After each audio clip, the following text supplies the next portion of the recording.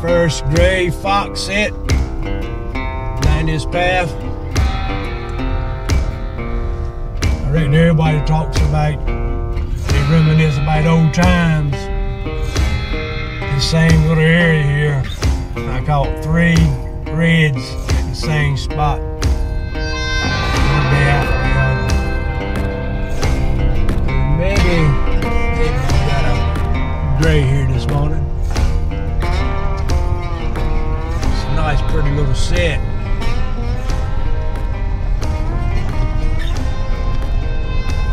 Out.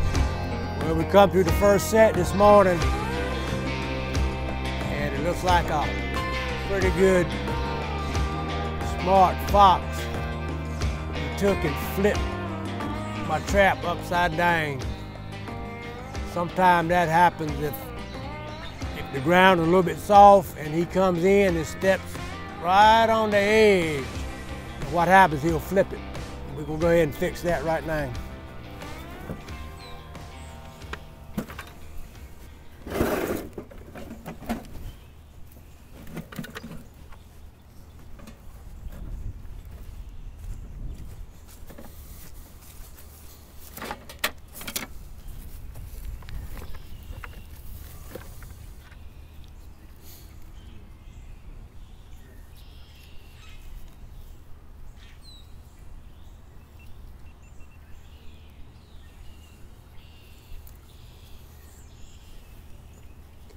What I'm gonna do, I did have it set right here at this dirt hole. What I'm gonna do, I'm gonna move it over. Hopefully he'll come right back. Hopefully I'll give him a surprise. Unless he tries to hoodoo me again.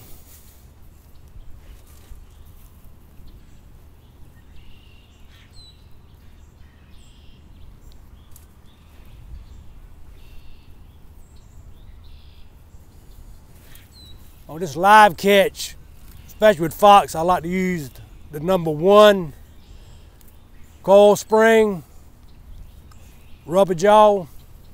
That holds them pretty good. You can go to one and a half.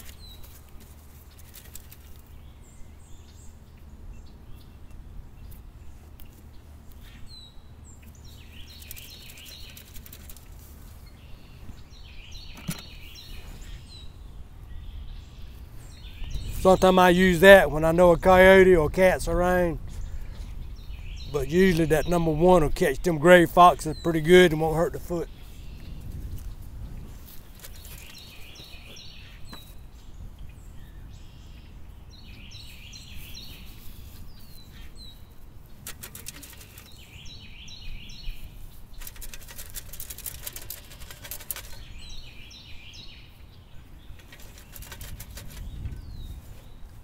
Juice it back up with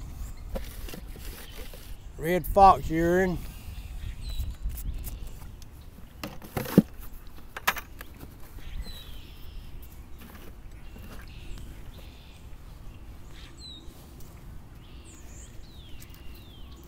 Give him something else to smell on.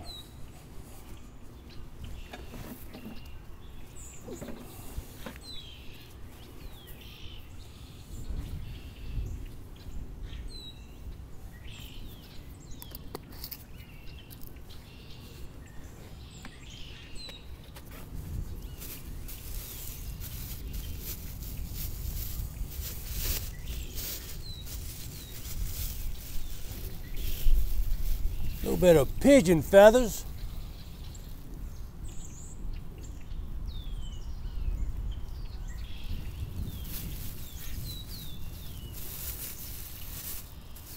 Hopefully that'll do it.